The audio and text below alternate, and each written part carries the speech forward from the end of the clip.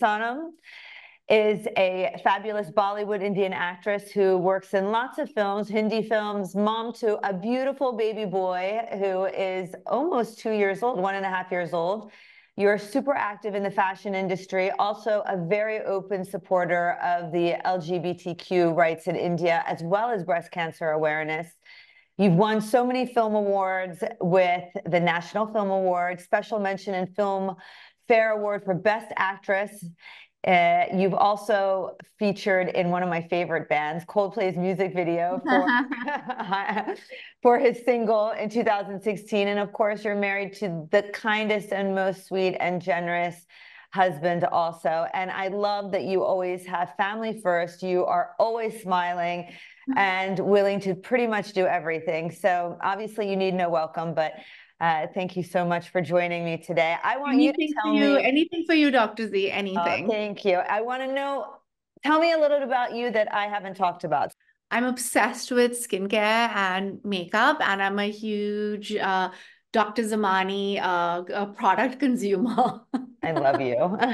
it's something that I really, really love, like skincare and taking care of myself and um and my skin and makeup and stuff like that. It's like I love, I love that. I'm a girly girl and I love pink. Everybody loves a little pink in their life. Yeah. so as an actor, you are also a businesswoman, your wife, your mother to Vayu. What inspires you every day? And you know, what makes you go out there and give it your all?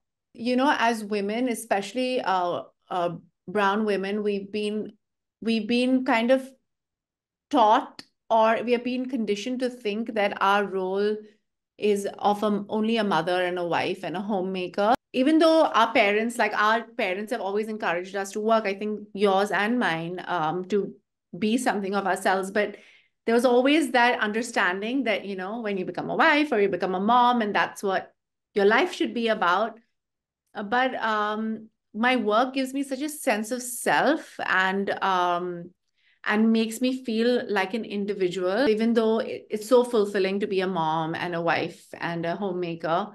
Work is something that gives me a very strong sense of strength and self I love that. And you know, you've always said that your mother has been a very huge source of inspiration yeah. and admiration for you. Is she the one that you feel has always been the big source of inspiration? 100% because since I can remember she's she's basically I I don't think any man could do that like juggle all the hats um and she's done that you know and she used to also manage my dad's money I love that. I love whenever you tell me that. And I actually always love that you give her that sense of, you know, being able to do it all because sometimes I think men are very like they have one path and they can only see that one path. But they, they women do. are multidimensional. She she's always worked. She ma- she managed my work and my money and my now I do it, but she still manages my dad's money completely. Like everything and then she manages the household and she works and she takes care of us and theirs has always been a true partnership. We never had the traditional patriarchal household. It was a partnership. It was it was parenting and them taking care of the home and the ideas. Like if if i'm like i'm helping my mom and my aunt my aunt is an amazing interior designer and uh, my mom's like doing up a foyer and she was like they make those decisions together and usually um at least in my case i'm like figuring out what looks nice and where what goes and i'm sure it's the same for you dr z. But my dad is because he's an artist i think he's equally involved in like kind of they make those decisions together. So i've always seen them make every decision whether yeah. it concerned us whether it concerned the house whether it concerned staff whether it concerned money whether it concerned holidays investments. It was always together. It was never or it was always divided in a way where it felt like it was an equal partnership. And i think that was a very healthy way to grow up. Well i think it's also really incredible because your your mother and your father are both hugely successful. And then their children have also you know had this insane work ethic and have made something of themselves independent of of the family. And i i often look at that and i think what did they do what was that recipe that made them so really fabulous and made all of you fabulous you know so uh, I think actually, you know, that's a credit to them. And I'm sure you're going to be the same to your growing family as well. I mean, the apple doesn't fall far from the tree, as they oh say. Oh my God. No, I, I'll tell you the one thing that I've learned uh, from my parents is to be completely non-judgmental. Very important. Very important. No, no judgment. Very um, open to us uh, just being ourselves and having an opinion. And at the same time, you know, they didn't want us to be obnoxious in terms of like, they were like, you need to have an opinion, you need to be yourself, but al always have like good manners and stuff like that. They, they were like, whatever you feel like you want to do and which path you want to go towards is what um, is being kind of inculcated in us. Um, I, even I my parents that. came from very um, modest uh, beginnings, they they tried to. I mean, they became very very successful, and it took them a lot of years. And I think that kind, those kind of um, uh, that that upbringing of theirs and that um, the moral compass that comes from that sort of uh, upbringing is very different from when you when you have a lot and they inculcated that in us. what's the one piece of advice you would give your younger self? I mean you're so young you're still super young but what is the one, one piece of advice you'd give yourself? To think before i act. That's great advice. Yeah and just to sleep on it and not be so impulsive and um, to think before i spoke to think before i acted to be emotional, but not to lead with emotion, like kind of have a bit of both. And i i made that mistake quite a bit when i was younger. You need to think. And i i did i didn't have that um i didn't have that in my nature when i was younger. I, and that comes my mom said that comes with age and that and comes with right. and moms with are always right. Moms are always right. And um and then listen to your mom you know? You don't end up listening to your parents as much. This is so true yeah. You have so much to be proud of. What is, is there something that sticks out to you as like the thing that you're super proud of? Well, I think it's to have the right moral compass. I, I don't think I'm ashamed of any of my actions, you know, or the things that I've done. I've always stood up for what I think is right. Um, I've always had an opinion, and um, especially when you come, you have a public platform and you have a place that you can use your voice, you should always um, always have be on the right side of history. And I feel like that when you're younger, um, you know, you're foolhardy, but when you're older, it takes way more courage to kind of speak up. And um, that is something that I feel like has been inculcated in me by my parents. And that, that is and, and that is something that I feel like I I am proud of. And when I look back at life, I know that I I'd never be ashamed of being quiet or not saying something. I love that. I absolutely love that. What do you think has changed the most about you since becoming a mother? For instance, for me, when I became a mother, I mean, I always loved kids, but as soon as I became a mother, I love everybody's kids, you know? So I, it's like I became Mother Earth as opposed to, you know, just, I always knew I'd have kids, but it was never like, oh, my end all be all. But now, whenever I look at other people's kids, I'm like, oh my God, they're so cute. Or um, I feel like I have more compassion because I'm coming from a place of uh, motherhood. But is there some way that you think that you have you have changed? Or I mean, I can tell you from seeing you, I, I, you've always been such a loving and caring person. But like, really, Vayu has like brought out just this immense internal happiness that I think just radiates. And so you I, have always wanted a Dr. Z, since you've known me, I've always wanted a baby, right? I know. Like something that I I've always wanted. And um, if you asked me 10 years ago, I wouldn't be saying that, oh, I this is this, you know, women a woman should have a baby. Like it's not, yeah. I don't believe in that at all. But I feel like it's given me a sense of um joy because I I with age, I feel like cynicism sets in. And when you see when you see your child being like, wow, or like he says wow all the time, like to anything. So. He's like, wow. I love that. And I'm the just curiosity, like, the curiosity. The curiosity and the wonder. And you know, like he looks at birds and fish and he's like, fish and oh.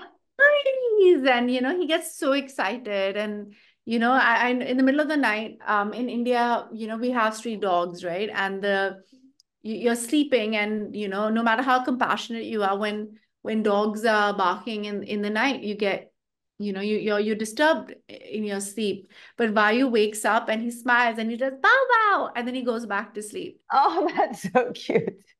You know? And i think um that's sort of like optimism and and happiness with everything is looked at with rose tinted glasses. I love that.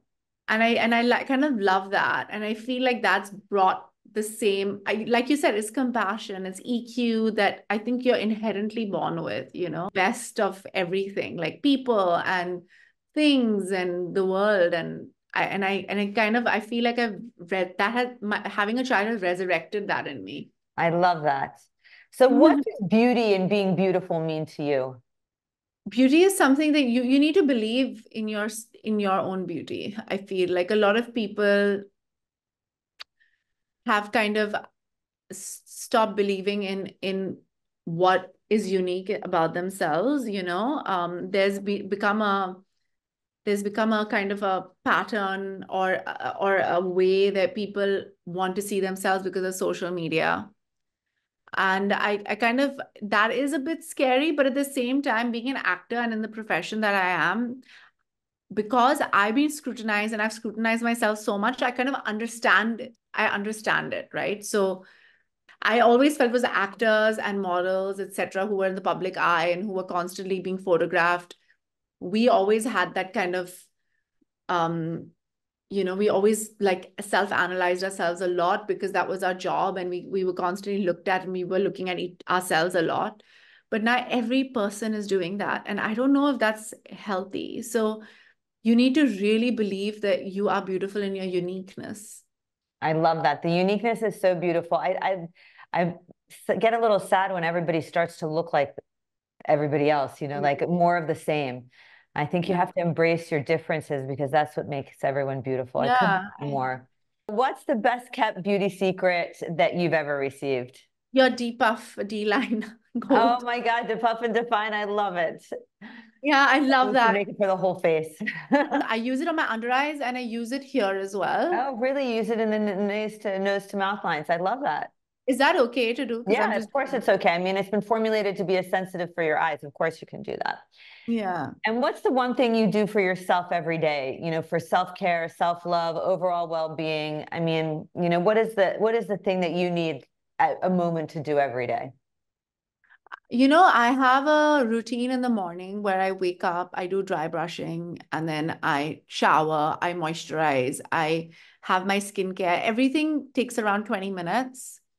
Um, I, I when I started, it used to take much longer, but then when you do it every day, it takes around 20 minutes. And that 20 minutes is like sacred to me. And it does not include me having my cup of coffee when nobody's allowed to talk to me till I don't have my coffee. And um, you know, even though for the first year, while Vayu was like really small um that went completely out of the window I, I like i hadn't moisturized like three months because i didn't have time to do that but um now that you know he's much older and he has like a proper right. routine and he wakes up like at six thirty as opposed to like multiple times in the night i think it's it, it's easier to get back into a routine and create a, a that 20 minutes where you can like take care of yourself and um, have my cup of coffee after, which was missing for a year. And I did, I took that so much for granted, right? And then when you have it again, and you're like, oh my God, I thank God I have this back in my life. I, yeah. I totally understand. Yeah.